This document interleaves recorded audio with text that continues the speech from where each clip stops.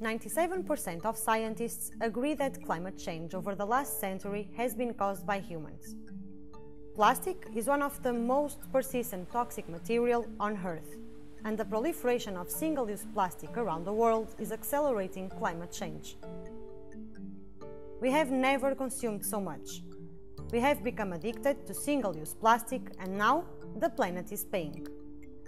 Since the 1950s, 8.3 billion tons of plastic have been produced around the world, and only 8% has been recycled, with Europe being the second largest plastic producer in the world.